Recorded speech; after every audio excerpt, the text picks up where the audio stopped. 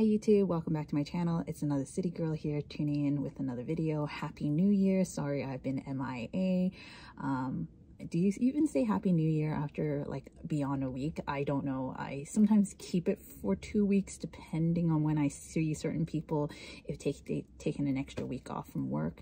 But anyway, uh, Happy New Year since it's my first video for this year, 2023. I hope everyone had a great holiday season and New Year's.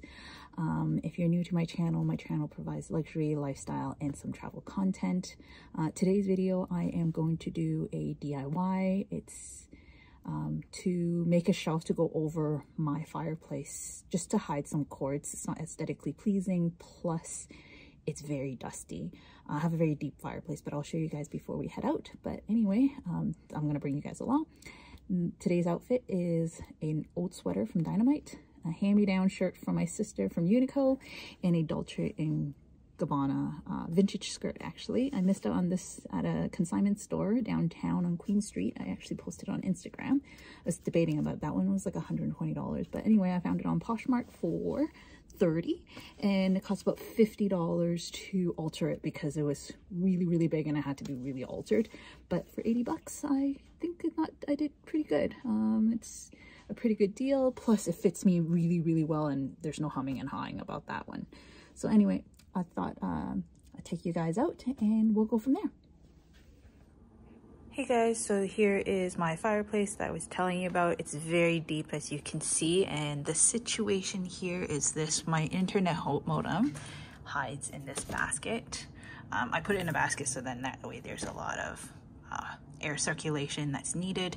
But the unesthetically pleasing part is these plugs that kind of stick out.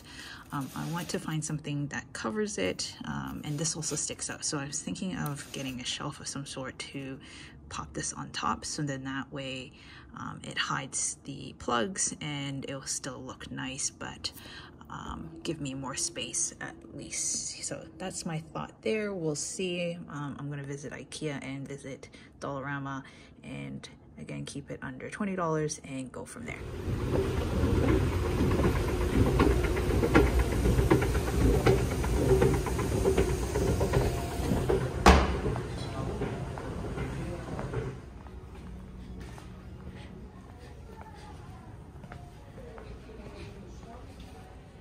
So today's mission is to pick up this spice rack. It's called the uh, for $8.99 in kitchens. Um, it's actually a pine, but they painted it white here. So that's my idea is to paint it white and then either do rattan or burlap around here. So we'll see.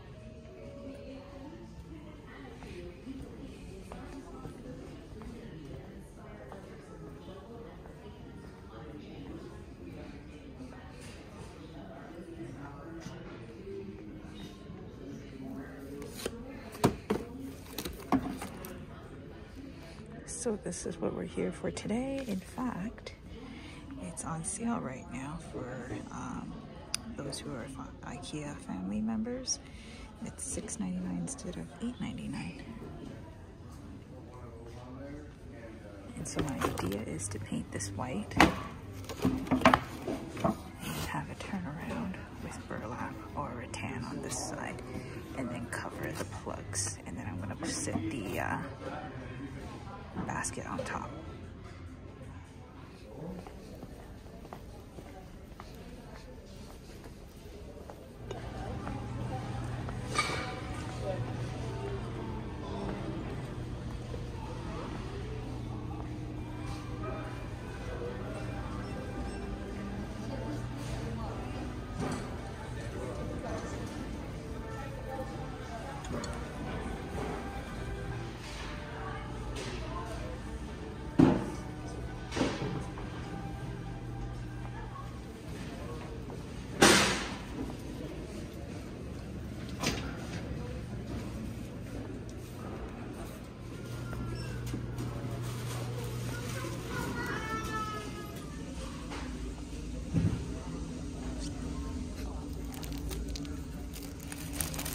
They have these printed jute rolls, but not really what I'm looking for. I'm looking for plain ones.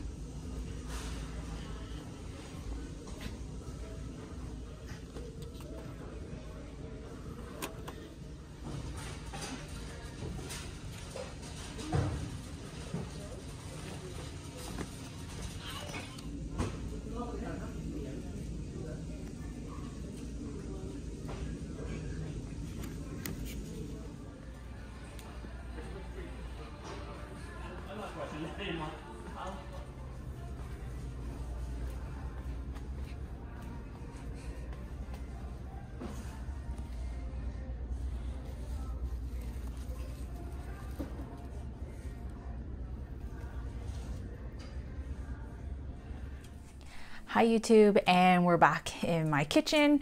I got all the supplies that I wanted to purchase from the other day. So this is I think a couple days later from my trip to Ikea and then I went to Michael's on a different day because my trip to the Dollarama was a failed because they don't have spring stuff out just yet so I couldn't find burlap or um, the type of material, basically like jute material. But I did end up finding it at Michael's and they had 30% uh, off regular items. So this was $8.99 as you can see in my clip. It did run me $15 for both these. I do have some paint here from the dollar store. Um, I have foam brushes. Anyway, let's get started with this. So the first thing I'm going to do is going to put the shelf together um, and then kind of go from there. And then by doing this, I think um, I can reuse the shelf as a spice rack or a shelf one day. Um, but right now what I'm going to do is put it together and then flip it upside down um, as an upside down shelf basically. Thank goodness there isn't a lot. There's not a lot of pieces. There's only four screws and two wooden knobs to fill it basically. And um,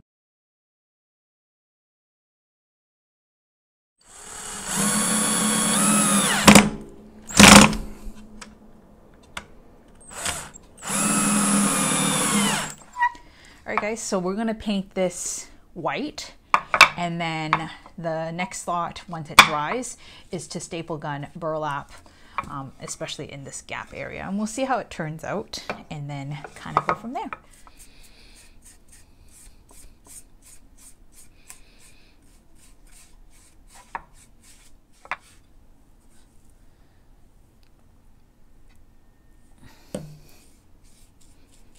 So it is about half an hour later and everything has dried and actually the one coat is just good enough actually. So I'm not gonna bother with a second coat of paint.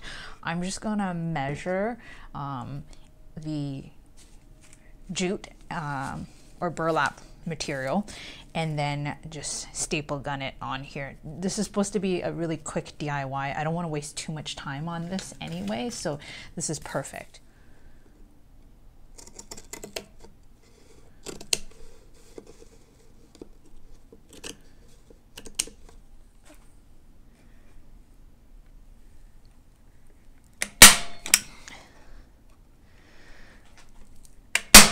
There's everything with all the staples.